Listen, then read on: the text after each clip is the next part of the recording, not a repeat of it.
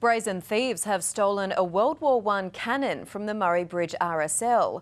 Locals are disgusted at the theft and police are urging witnesses to come forward. A callous act just days out from a National Day of Remembrance. The World War I mortar, similar to this one, was stolen from the front of the Murray Bridge RSL on Monday night. The act itself uh, is an absolute disgrace. Anything like this is terrible, but especially uh, a couple of days before uh, Anzac, a remembrance.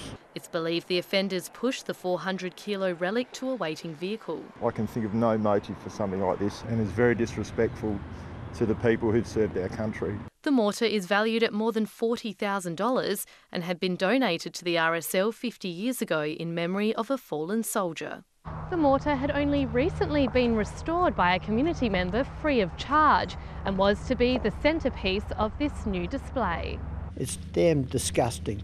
That's all I can tell you. My great uncle died at Gallipoli, and for somebody to have done this is just absolutely criminal. Criminal. They should be ashamed of themselves. Police have already questioned several people over the theft and say if found guilty, they could face up to 15 years jail. They need to be accountable for this action because it doesn't represent the Australian spirit. Jessica Stanley, 9 News.